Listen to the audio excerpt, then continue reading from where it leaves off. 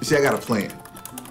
My goal is to give Dreamtime everything I got till my record deal pops off.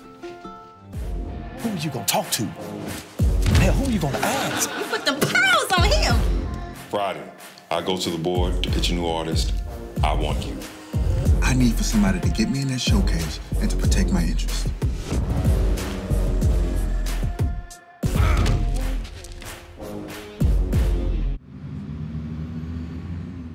The people that make it only care about one thing. That's survival. Yeah, see, we ain't out here for that play, play Hollywood shit. That's the energy that we're looking for right there. The only way that you lose is if you quit now. They can't win.